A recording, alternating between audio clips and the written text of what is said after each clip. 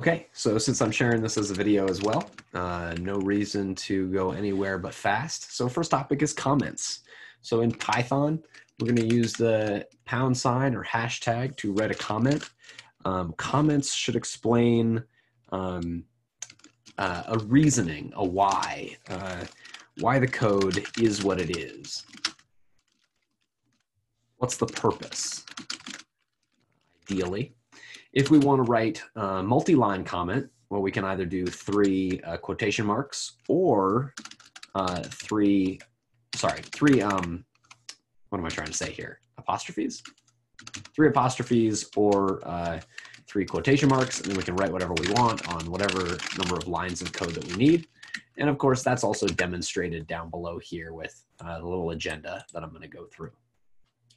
Printing is of course always super useful because we get to see something printed out on the screen here. So if I go and run this, at the bottom I have eventually, eventually, hello printed right there. And of course in a different editor yours might show up differently, but this is what mine looks like. Moving on to variables. So variables are how we keep track of information that we want to use later. So it starts off with a name. In fact, we can name our name name uh, and then a value, and we set it equal to a value. And this is not mathematical equals, but this is something called assignment. We assign the value to the variable name. And then we can use this later on. So if we want to print uh, something like hello, I need that as a quote, or I need that as a string, hello to a person, we can use that variable's name and it will get replaced with the value of the variable. Um, and this plus sign is sometimes different in different contexts. If we add uh, 4 to it here, right, it's not going to print 64, it's going to print 10. But here, this is going to print hello Neal when we run it. And there are outputs right there. All right. Uh, functions. All right, so whenever we have some sort of action, I'm gonna put it actually at the top here. So functions, what's good about functions is uh, if we have an isolated action that we might wanna take repeatedly, that's the perfect thing to put it in a function.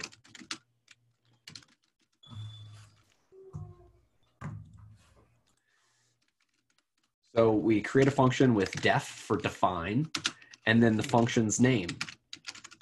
Usually it should be some sort of verb, right? Variable names should be nouns typically, uh, and function names should be verbs.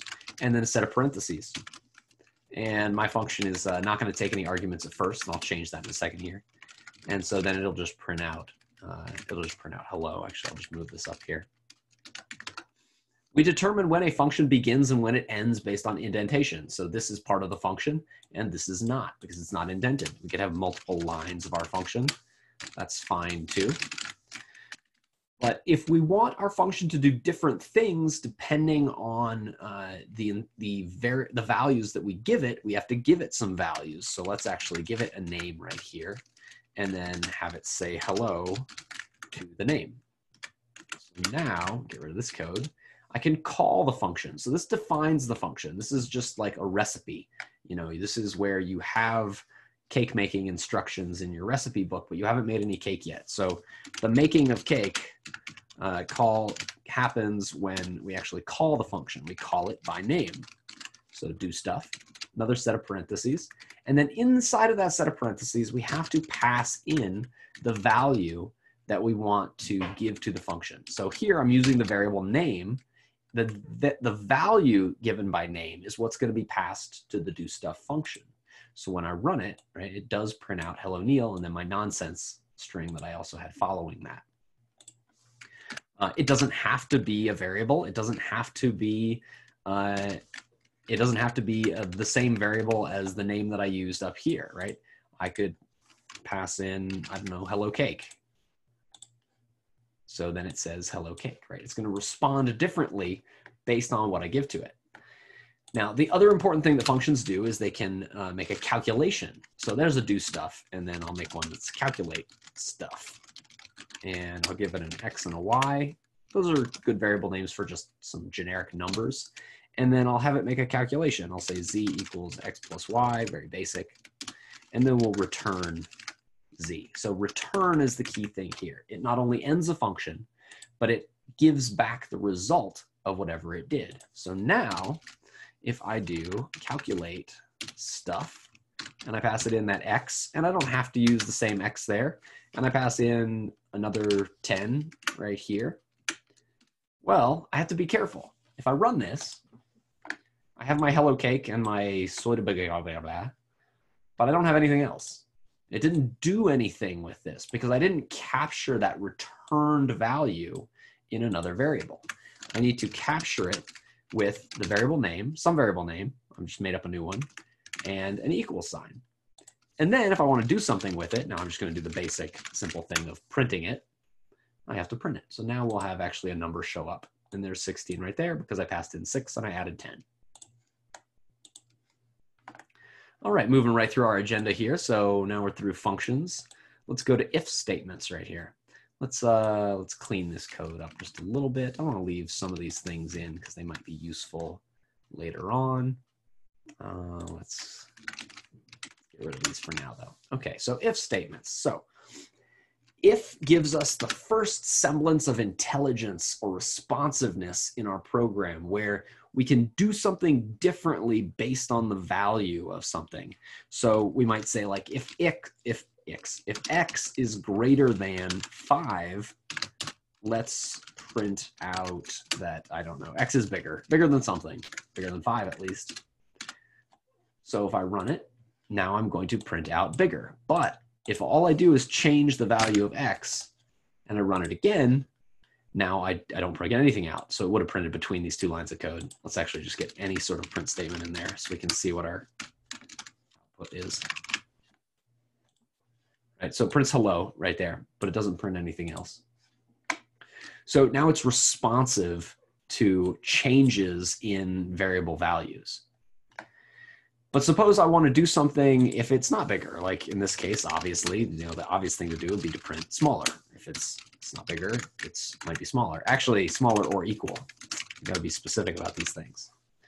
So now, if I run it, it will print out smaller or equal. So it will do one or the other of if and else, but it's always going to do one of them, right? Else means otherwise. You know, if not the first thing, then otherwise do the second thing.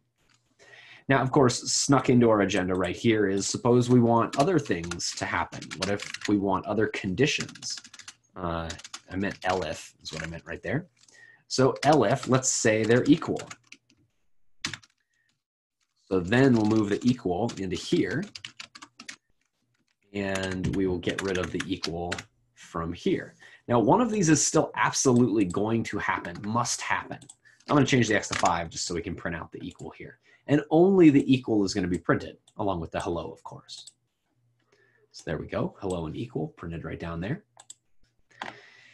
And if we delete the else, another thing to note is one of these things does not have to happen now. Since there's no otherwise, we could have none of these things. So let's take the x back to 3. This program should print hello. It will check is x greater than 5, is x equal to 5, and if neither of those is true, it will just do nothing more. So there we go. We have the hello right there, and that's all it does. Moving right along, let's go to 4. So 4 is a loop, so for loops. And these are good for counting or uh, changing by specific increments, right? So we might say for i in range 10, and we can print i. So we're going to print the numbers 0 through 9. An important thing to note is that we won't necessarily go all the way up to, I mean, not necessarily, we are not going to go up to that number in the range. We're going to go up to one less.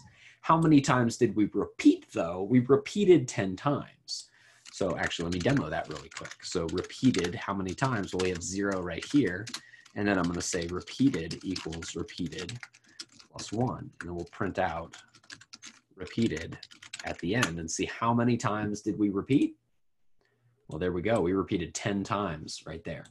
So the 10 is how many times we're repeating. It's not the number that we're going up to. We're going to go up to one less than that number in terms of i. And i is totally arbitrary. Uh, you don't need to use that variable. You could use a much longer variable name. This is kind of silly, uh, but I'm just demoing here. And it'll still print out the exact same thing, 0 through 9 right there. All right, um, I'm going to sneak into my agenda an extra thing, which is a list. So suppose we want to keep track of a variety of items. We'll have a bunch of numbers that we want to keep track of. Well, we can use these square brackets. So numbers is just the variable name, same as any other variable name. We can set it equal to a list. And we separate the values in our list with commas. It's like a variable that holds lots of different things. It's a, a cabinet that you can fill up with lots of uh, objects or values in this case. And I put this here because loops are also really useful for going through um, uh, lists. So we could say for uh, num in range length numbers, and then we could print out num. Uh, no, sorry, we couldn't do that. This is an index right here. So we could print out numbers bracket index. Now the names don't matter. I'm just making them cl for clarity, right? The index should be the same right here. So let's go ahead and run it. And now I've printed out the numbers that I put into my list. You can see my list right there and the values printed out down there. Now, if you don't need the index, right? I mean, so if I, I could put the, the index right here and then like, I don't know, give a little space and then the numbers, right? So running this very quickly. Now I have the index on the left and the value on the right maybe I want to do this. I don't need the index. I'm going to do this a little bit more simply. So this is what I was intending on doing before. I could say for num in and just say numbers. And this is a convenient for loop that's just going to go through and print out each and every value in order from the numbers list. So I go run it, and there are my values again right there. Okay, so we got while loops, objects, and imports, and then we'll be done. So for loops we said are good for counting or changing by specific increments. So while loops are useful when we want to repeat, but we don't know how long. And the example that I usually give with this is um, something like, you know what, we're not actually using this stuff up here, so we'll clear that out. The example I give with this is using input, right? So uh, feedback will be my variable and I'll ask the user, um, how are you today? Question. And then uh, I can say while feedback uh, equals okay, I'll say uh, I'll keep I'll keep asking for more feedback, and this is always the example I give here. Um, and I'll say no, really, How are you today, right? I just have this infinite loop that's going to keep asking over and over and over again. Uh, and then I'll, I'll respond if they if they finally say not okay. You know, I'll say, I I knew it. So run this here. Prints out, you'll notice at the very bottom right here, how are you today? I know this is different from PyScripter. This is just how Visual Studio does it. How are you today? And uh, I'll say, okay no, really, how are you today? And I'll say, okay. And it'll keep asking me over and over and over again, right? Are we there yet? Are we there yet? Are we there yet? Are we there yet? Um, not so good now. Now I'm annoyed by all this question asking. And it says, ah, I knew it. All right, so those are while loops. Objects. So let's quickly see how quickly we can throw together an object. So objects are defined by classes, right? Class, wait, what just happened? That was a weird autocomplete. Class is like the def for a function. Um, it's defining an object. So what kind of object do we want? We want a uh, fraction object, all right? And so the fraction object, we're gonna initialize it with this underscore underscore init underscore underscore function right here. And it's gonna have a numerator and a denominator, all right? And to remember those values inside of this object, we need to say self dot. So we'll have self dot numerator equals our numerator, and we'll have self dot denominator equals our denominator. And maybe we want to like get the decimal value of this fraction. So we'll have def get decimal uh, and any sort of function that belongs to this object. Uh, we're going to put self inside its parentheses. That's one way we indicate that it can refer to itself. Uh, and then we'll say um, return self.numerator. And even though this variable, self.numerator, doesn't appear inside of this function, because it belongs to the, the object, we can use it inside the function here. So we'll return self.numerator divided by self.denominator right there. But this, like a function uh, definition, is just a recipe for creating a fraction. We haven't actually created any fractions yet. So let's go ahead and do that. We will say um, half is a boring fraction where the numerator is 1 and the denominator is 2. And then we will ask uh, half for its decimal value by saying half. That's the variable that refers to our fraction object. And we'll say get decimal. What is your decimal value right here? Uh, and then let's print it out as well. And there's our 0.5 right there. So we created this object. And now we did a lot of code to get that 0.5 to print out on the screen. That's a difficult thing with programming is that there's a lot of stuff you have to visualize that is not visualized for you necessarily. So we have this whole big set of instructions to create this fancy, fancy object. We pass it a one and a two for numerator and denominator. We call its function and we get the result and then we just print it out. And that might be all we see. And that's one of the biggest difficulties, in my opinion, with uh, computer programming.